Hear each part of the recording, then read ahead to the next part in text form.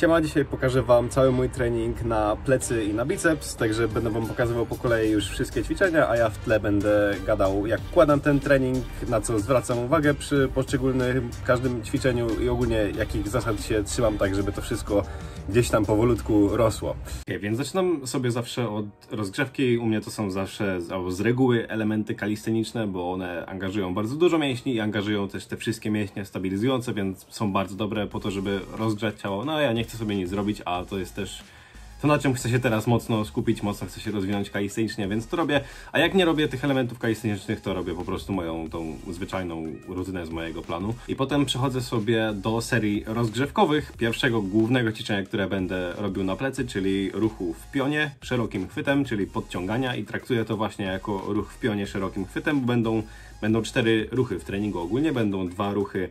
szerokim chwytem, jeden w pionie, jeden w poziomie i dwa będą ruchy wąskim chwytem, jeden w pionie i jeden w poziomie. Jedna bez ciężaru na więcej powtórzeń, a druga tak mniej więcej na 6-7 powtórzeń, tak 70% ciężaru. Potem cztery serie robocze z docelowym ciężarem, czyli trzy talerze po 2,5 kg i potem dwie drop serie, jedna 2,5 kg, czyli trochę zmniejszony ciężar i jedna już zupełnie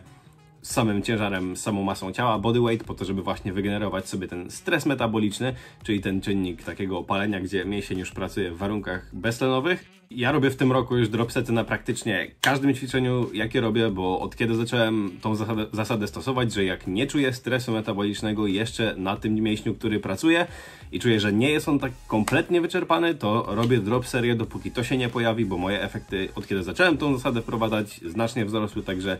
jeżeli to oglądasz, to nie bój się robić trochę większą ilość serii, jeżeli nie czujesz jeszcze, że ten mięsień jest kompletnie przepracowany, bo efekty są, myślę, opłacalne, a nie przetrenujesz się, o ile oczywiście jesz wystarczająco i śpisz wystarczająco.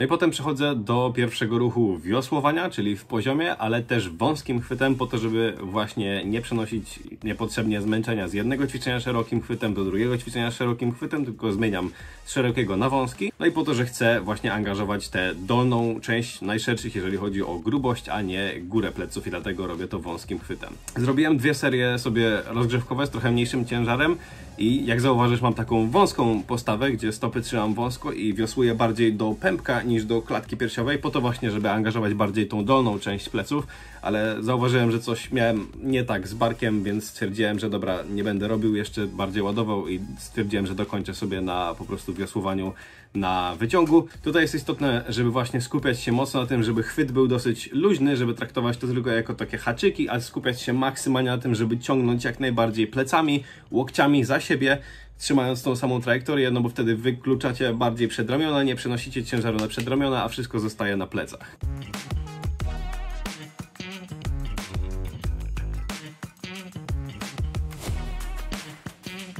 Więc dokończyłem na, na wyciągu, zrobiłem moje serie robocze, tam dosyć heavy, 50 kg i później drop serię do kompletnego wyczerpania pleców, tak jak widzicie pewnie na filmie.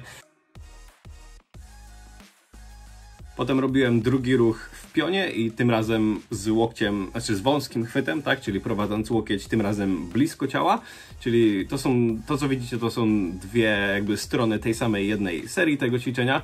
I to na co zwracam uwagę przy tym ćwiczeniu, to żeby właśnie ciągnąć po pierwsze z łokcia, a po drugie ten łokieć jak najbardziej prowadzić jak najniżej do biodra, co nie? Czyli nie, nie tu, tutaj do klatki piersiowej, tylko jak najbardziej przy ciele i jak najniżej. Im niżej do biodra jesteś w stanie go ściągnąć, tym lepiej, bo tym bardziej będziesz miał właśnie spięcie tej najniższej partii tego najszerszego pleców, nie?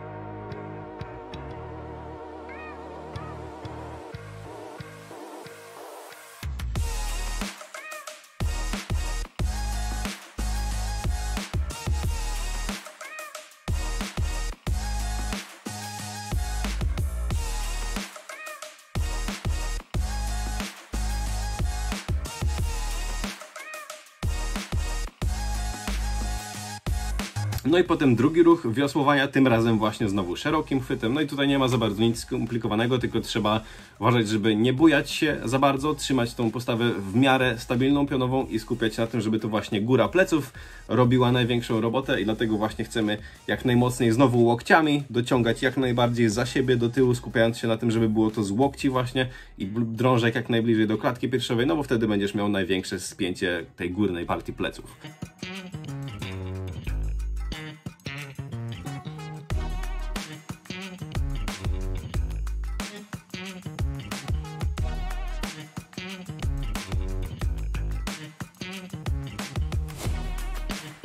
No i potem przeszedłem do pierwszego głównego ćwiczenia na biceps, tak jak ostatnio Wam mówiłem w tym filmie z najprostszym zestawem na biceps, czyli uginanie ze sztangą. Cztery serie robocze, łokcie do wewnątrz, oparte o ciało, żeby była maksymalnie stabilna pozycja, nadgarstek odgięty, nie zaginam go do wewnątrz i cztery serie robocze i dwie drop serie do absolutnego wyczerpania bicepsa, gdzie już po prostu nie ma nic.